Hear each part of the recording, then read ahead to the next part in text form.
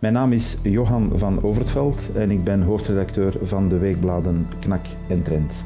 Van mijn hand is zo net het boek Het einde van de euro verschenen, dat denk ik een goed inzicht biedt in wat de achtergronden zijn van de crisis die we vandaag binnen de eurozone meemaken. Het schetst ook de scenario's naar de toekomst toe en helaas is de conclusie dat de toekomst van de euro echt wel heel nadrukkelijk op het spel staat. Koop nu een door de auteur gesigneerd exemplaar van dit boek op onze webshop www.actua.tv-shop.